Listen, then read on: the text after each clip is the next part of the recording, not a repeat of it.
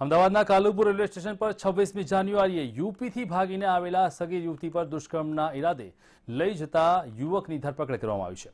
નકલી એસઆરપી જવાન બનીને યુવકોએ માસ્ક નકલી પહેર્યું, એમ કહીને દુષ્કર્મ કરવા જતા જવાનની પોલીસે ધરપકડ કરી છે.